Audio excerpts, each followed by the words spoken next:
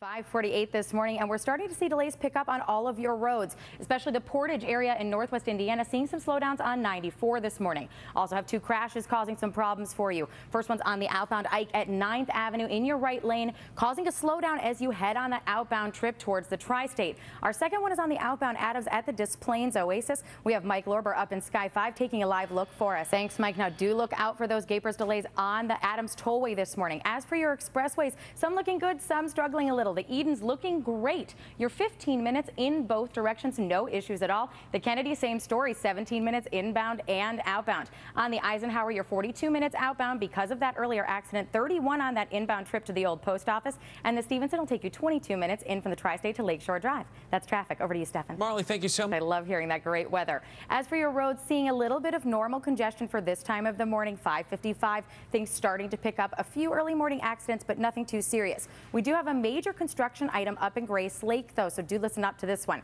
It's at Route 120 at Route 83. We have necessary railroad crossing repairs here. This is a long project, 10 days. It's until Wednesday at 6 p.m. So if you need to get around this, an alternate route for you is Peterson. Today, there's an added project up in that same area. It's right at 94 and Route 20 until 6 p.m. tonight. They're doing some pavement work, so you've lost one lane in each direction. Now let's take a look at your drive times this morning. They're starting to build, but the Eden still looks great. You're 15 minutes in both directions between Lake Cook Road and the junction. The Kennedy, same story, 17 minutes both ways. On the Eisenhower, you're about 35 in each direction between Route 53 and the old post office. The inbound Stevenson will cost you 24 minutes into Lakeshore Drive. The Dan Ryan, 17 minutes if you're headed in from 95th Street. And 57 and the Ford are clear. That's traffic. Right in, Stefan.